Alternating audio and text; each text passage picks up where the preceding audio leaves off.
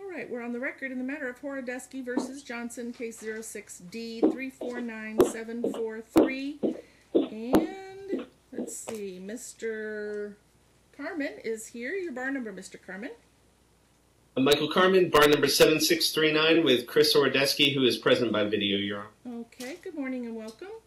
And Ms. Robinson. Good morning, Your Honor. Not currently attorney of record for Amber Johnson, but here because I owe you some orders. Bar number 10731. Yes, good morning and welcome to you. And your client is not here, correct? I um, she's not with me, so I don't know if she's online. Okay, I don't see her. But um, yeah, we're just here for the three orders that are missing, Ms. Robinson. We do have them drafted. Um, Amber did have some edits. She wanted me to send them to her, and she has sent me those edits, and I have not yet made them and sent them back to her for review before sending them to Mr. Carmen. I will make sure that that gets done this week. Um, but yeah, usually I don't do that. Usually I don't run them through the client that she specifically requested. So do you um, do you need the dates of the orders, or do you have that? I have them, yeah, they're all drafted and have been sent to Amber for review, but they've come back to me with some edits. Okay, I need to get those in. So um, when can I expect them? I will get them over to Mike by Friday because Amber's pretty prompt in responding. Um, and then just whenever Mike thinks he can have time to review, I know we're going into holiday season. All right. So uh, I'll just state going to be out of town from the 18th to the 24th. Obviously, we're celebrating Christmas, but I'm back after after that. So if, if I can get them uh, next week, I, I hopefully I'll turn them around quick. I'm just, you know, my client has now appeared twice on this and has had to incur attorney's fees. It's uh, yeah. I, I'm not. Uh, I, I, I don't want to be mean to Mr. Robinson, but I would ask to reserve the right to seek fees against um, her client in relation to these delays and the additional court appearances that really shouldn't have been necessary. okay. Um, so Your Honor, I'll take the fee. Attorney but- Amber Robinson. Sorry, hang on real quick, Your Honor. I'm here. I'm just wrapping up. I'm here and just wrapping up in Department Z.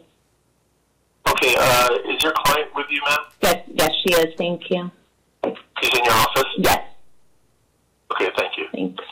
Sorry, Your Honor. okay, so Um, you're gonna get them to Mike by Friday, and of course he's leaving town on Saturday. Um, If I can turn them around today, I will, Your Honor, just so he has time before he goes, if he has time. um, okay. Yeah, I'm, I'm concerned I'm not going to be able to review them until I get back, though, Your Honor, because of the timing. Okay. How much time are you gonna need to review, Mr. Carmen? Uh, what's the following week? The the week of The 27th through the December 26th? Yeah, actually, I'll have them reviewed that week. Okay, so uh, I hate to say it, but by New Year's Eve, uh, December 31st. Um, You're you're either going to have a signed order or you're going to have competing orders submitted. okay, and um, Ms. Robinson, I don't want to have to order. I don't want to be mean either. Just make, please make sure that I get them in by December 31st. Yes, Your Honor, I'm thank get- you. I'm getting pressure too. So, and these are three orders. So, all right. Thank you. We will we'll get those over to him. All right. Your Honor, on a on a housekeeping matter, um, out of the blue, I, we had talked about this last appearance. The court had we had filed a motion to withdraw prior to the last hearing. Yes. Um, at that hearing, I indicated to the court I had no intention of leaving this case until this matter was uh, resolved at the last hearing before you. I told you I wasn't going anywhere until these orders were submitted. Um, and subsequent to that, we filed another motion. So we have this minute order granting a withdrawal that we're, we have no intention of pursuing. I'm wondering how the court wants me to deal with that. Oh, um, I can just include that in the order. So you're not planning to withdraw anymore? No, no, we've had to file a subsequent motion to suspend visitation. Okay. It's pending before the court. I, I you know, we were going to do an OST, but we haven't really heard a response on it yet. Okay, well, let's do this. I'll just include in the minutes for today that you're um, vacating your your motion to withdraw, and I'm rescinding my order granting your motion to withdraw. Can we do that, do you think?